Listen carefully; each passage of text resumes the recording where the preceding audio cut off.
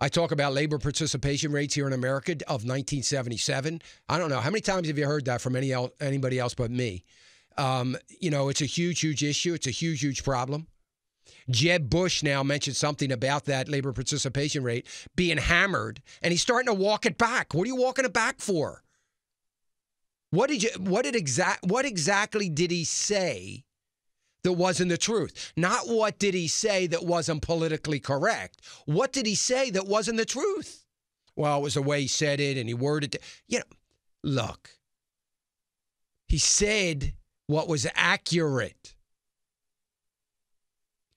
And I'm certainly not defending him because he is trying to walk it back.